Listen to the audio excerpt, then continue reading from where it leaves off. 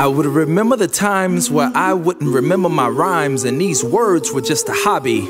I would write just because it didn't matter where I was, and a message was never my intention. Until the first time that I took the stage, that's when I finally felt that me and the creator, we were on the same page. You see, one day I prayed that I would share the same stage with some of the greats, fulfilling a purpose and a dream at the same time, doing whatever it takes. But until then, I would just sit back and handle what God has already placed upon my plate because it's all about preparation. So I stand on these stages. I stand on these stages to give the gift that I've been blessed with. I give the truth in my words because I've been tried and I've been tested. And I know that my burdens weren't created just for me, they happen so that I can make them plain for you to see. So I stand on these stages. I stand because so many have put their lives on the line. They took hits to find their own way, but at the same time, they were paving mine. So I'm able to stand on these stages without feeling guilty because what I'm doing has already been written. I'm just following my path, not taking for granted the blessings that I've been given because I know that every blessing that I receive is not for me. Some are for me to be a vessel to pass on so that the next man can receive. I will never misuse the gift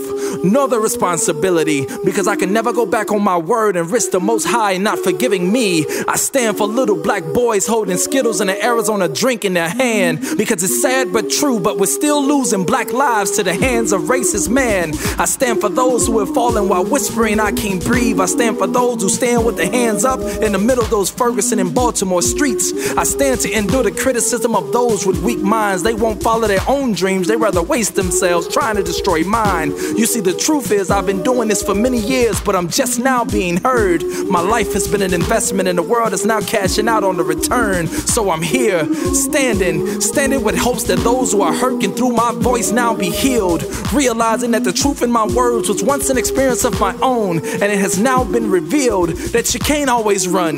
Some things you have to stand for, even if the circumstances causes you to plan for it. Stand for peace, stand for justice, stand for change. Stand even when you know that some things will remain the same. Stand in those moments when everyone else is gone because that's where you'll find me, even if I have to stand alone.